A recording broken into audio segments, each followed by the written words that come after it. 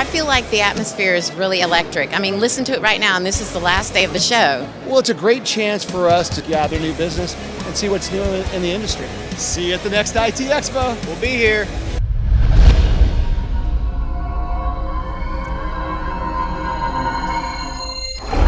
Hey, it's Rich Tehrani. We're at IT Expo 2019 in uh, Fort Lauderdale, Florida.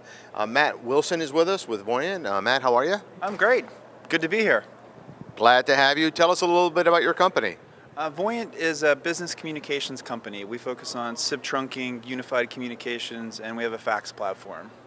Fantastic. And so, what are some of the uh, newer innovations that you guys have been uh, coming out with? Uh, we've recently re released a new SIP trunking platform and some new UCaaS uh, features and integrations um, with different software packages. And um, in terms of uh, the reason your customers are buying from you, what are some of the differentiators? Um, one of the key differentiators that Voyant brings to the table is we own and operate a nationwide network. Um, it, so some of our peers um, have over-the-top networks. We actually have a voice network that reaches 90 plus percent of the country. Uh, we're in 9,500 rate centers today, and that'll expand almost 10,000 uh, rate centers by mid-year. And so we have the ability to offer some very aggressive SLAs um, to our mid-market and enterprise customers because we can control the call quality. So we report extensively on call completion and call quality metrics to them. And um, how are you selling? Is it direct through through a channel?